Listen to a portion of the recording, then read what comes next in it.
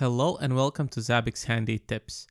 In this video, we will learn how to define trigger dependencies between a router host and a Linux server host behind said router. Our goal is to suppress alerts related to Linux host availability whenever the router is down. Feel free to perform this exercise on any other set of hosts or use cases fit for your specific environment. First, let's navigate to Configuration, Hosts, and find our Linux server host.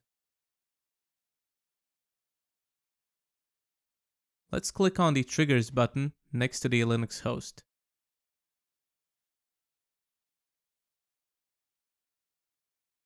I have already applied the necessary templates and created the triggers for this exercise.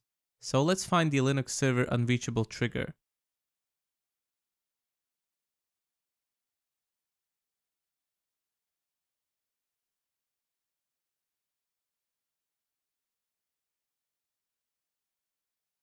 Click on the trigger to open the trigger configuration window. Next, navigate to the Dependencies tab. Here, we will click the Add button and select our Office router host.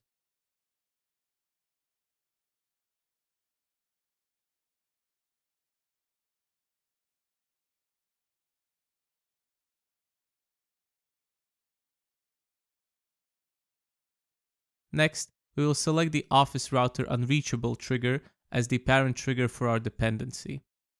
Once the trigger dependencies have been configured, click the Update button to update the trigger. Now, let's simulate an issue with our router and wait for a minute for the issue to get detected by Zabbix. Navigate to Monitoring Problems. If you look to your problem list, you will see that only the router unreachable problem is displayed here, since the Linux server problem is ignored because of the trigger dependency. Lastly, let's make sure that the Linux server is indeed also not reachable. Let's navigate to monitoring latest data and search for our Linux server host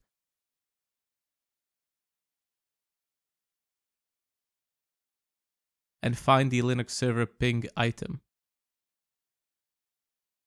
Here we can see that the last value of the ping is 0, which means that the Linux server is indeed unreachable, but because of our trigger dependency between the Linux server and the Office router triggers, Zabbix does not generate a problem or send us an unnecessary set of alerts.